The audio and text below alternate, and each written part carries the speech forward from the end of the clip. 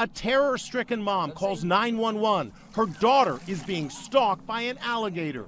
My daughter's stuck in a freaking tree. There's gators surrounding her. 15 year old Jordan Broderick was floating on an inflatable tube at a popular swimming hole in Florida's Ocala National Forest when a huge nine foot gator zeroed in on her.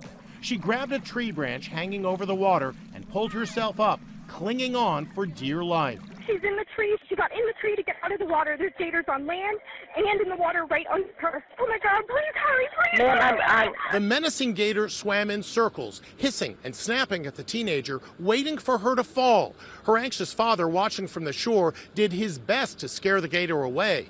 But the beast did not move. We can't get her out. Please, she's 15. how far out into the water is she? She's like, I don't know, 500 feet down the water, but it's sudden lightning and everything.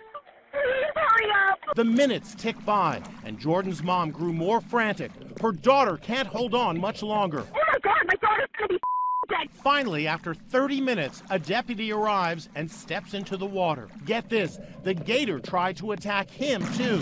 He was forced to open fire. The gator was dead. A terrifying ordeal. There's gators surrounding her. Please hurry up.